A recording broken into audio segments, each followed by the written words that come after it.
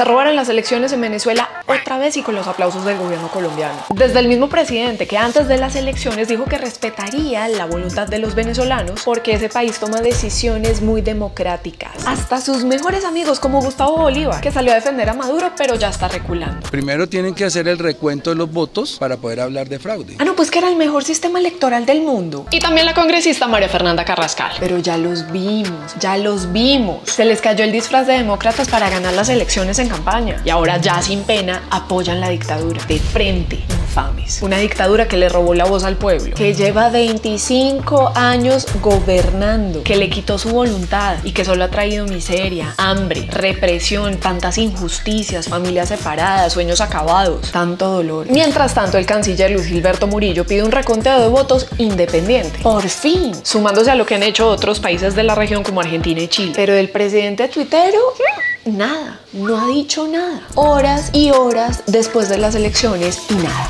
¿Cómo se avala una dictadura? ¿Cómo se avalan 25 años de una dictadura, de sometimiento? Es que esto no es de ideologías, no es de derecha o de izquierda, es de libertad, es de estar a favor de los derechos humanos. Por eso es tan importante que en Colombia sigamos blindando las instituciones, la prensa, porque nos estamos jugando el país, porque nos estamos jugando la libertad. Venezuela mucha fuerza hasta el final.